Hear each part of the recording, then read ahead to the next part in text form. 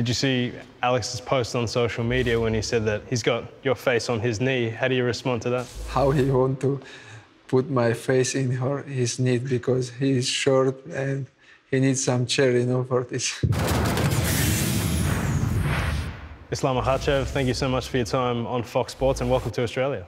Thank you. Thanks so much. Now, you're defending your lightweight championship against our very own Alexander Volkanovski, but it's also a fight to determine who is the number one pound for pound fighter in the world. Would you say that this is the most important fight of your life?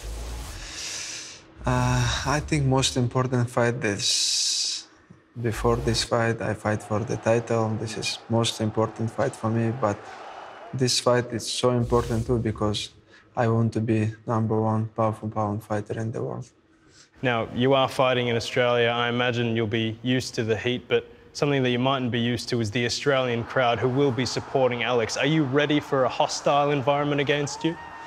Doesn't matter. The people inside the arena cannot help him. You know, when the cage close and nobody can help him.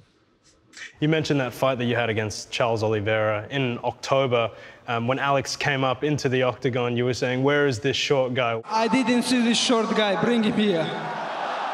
Do you respect Alex as a fighter?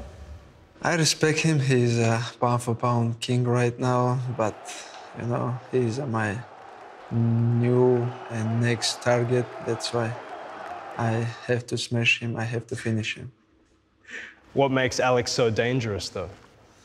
He's a good striker, but you know, this division not for him because 155. This is like big guys and it's I think it's like you know he wanna he makes some trouble for himself in this division. Fighters seem to find it very difficult to impose their games on Alex. In fact, Alex says that he forces them to fight his fight. How are you going to approach Alex Volkanovski strategically? Like same always. I always uh, try to push my opponents, take them down, and when they feel all power, all like how I pressure them and make them tired there and finish, you know. I always looking for the finish. That's why it's next fight is gonna be same. I'm gonna try to finish him inside the three rounds. Alex Volkanovski is not an easy man to submit. Did you see his fight against Brian Ortega when he escaped the uh, the two submission attempts? Yes, I see this fight, but you know, Charles Oliveira not easy to submit too, but you know, I'm gonna try. Doesn't matter. It's it's not it's not it's not gonna be ambition. I'm gonna give him like hard time, give him ground and pound, and when you feel when he feel it's not my division, I don't want to take more damage. He's gonna give up. Did you see Alex's post on social media when he said that um, he's got your face on his knee? How do you respond to that? How he want to put my face in her, his knee because he is short and he needs some chair, you know, for this. Islam, people talk about your sambo style uh, wrestling as your biggest strength, but your striking is incredible as well. I mean, we saw what you did to Bobby Green, and you also knocked down Charles Oliveira before you submitted him. Do you feel that people maybe underestimate your striking? Uh, I think now it's no more because my last fight I give the lot of hard punch to the Charles and after all this damage he understands you know it's gonna be hard fight for him because he cannot he can't some beat me he cannot punch me. That's why he give up. And next fight I'm will do same things now, the big criticism of you before that fight, of course, was that maybe you hadn't fought enough big names to warrant the title shot. Do you feel that people respect you more after beating Charles Oliveira in that fashion?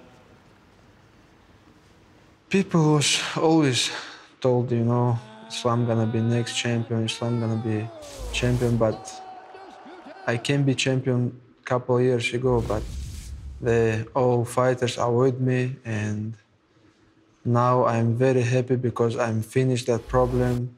Nobody want to fight me, but now it's good time. You know, somebody called me. First time I hear somebody want to fight me. You know. Do you care what the fans think? Do you care what people think of you? Not too much, but you know, I want to make everybody happy. Let's talk about your good friend Khabib Nurmagomedov. He will not be cornering you for this fight. I understand him because you know he was retired, but he still travel a lot with all team. Mm. And when somebody have fight, he go to the training camp, went to the other things, you know, and he cannot spend. When you retire, you want to spend more time with your family, but Yes. like for example, 2023, he says like just two months he stay in the home with family, but mm. All other time he travel a lot. That's why he want to spend more time with his family. Is it going to be difficult to move on as champion without him? I fought couple times without him in the corner. That's why, you know, he give me good, su- good support for this fight. He give me good. We talk about this fight. He give me give me the plan. I have to fight. That's why we will see. He often talked about legacy. What will your legacy be, Islam?